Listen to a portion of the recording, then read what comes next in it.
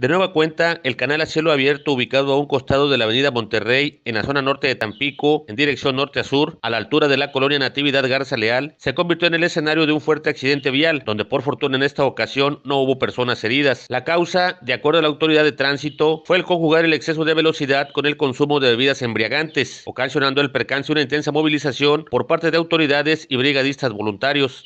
Se nos reporta un accidente de un carro que se va aquí al canal vial Estamos haciendo las indagatorias correspondientes para el corruptor debido a que se dio la fuga.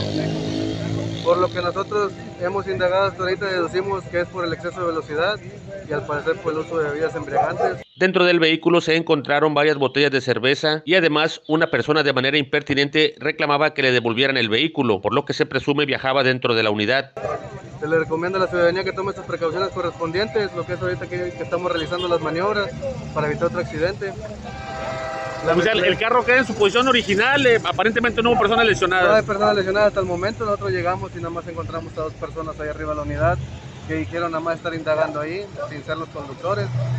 Ya todo lo vamos a dejar a merced del Ministerio Público para que haga la investigación correspondiente y le una responsabilidad. Importante, si toma no maneje. Claro, eviten una tragedia. Con el uso de una potente grúa fue posible sacar el automóvil del canal, quedando a resguardo al ser puesto el accidente en conocimiento del Ministerio Público para que se deslinden responsabilidades. En el 10.1 encontraste la noticia.